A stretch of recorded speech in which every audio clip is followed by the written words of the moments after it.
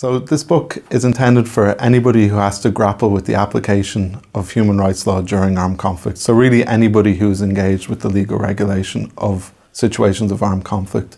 And our focus is very explicitly on the practitioner, so on the military lawyer. And the idea is to offer them concrete guidance and advice in specific situations as to the legal rules that will apply.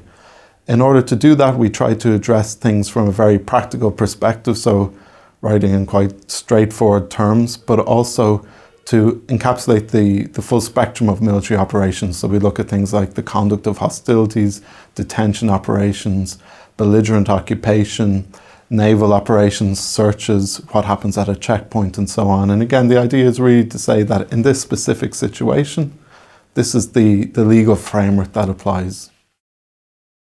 So one of the the traditionally difficult areas to regulate when we think of the application of the law of armed conflict and human rights laws, the use of force because they both establish very different standards.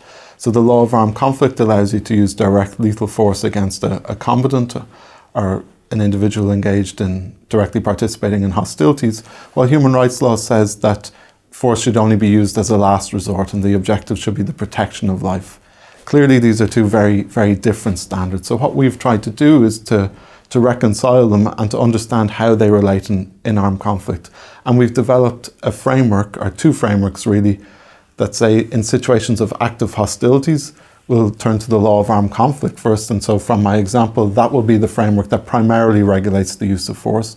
Whereas in situations of security operations, which maybe say a patrol during an occupation, human rights law will provide the primary framework and the law of armed conflict will be applied in that context. So, the idea is really to to show that if you're operating in a specific situation, this is how the two bodies of, of law interrelate, and this is what it means for your own conduct of operations.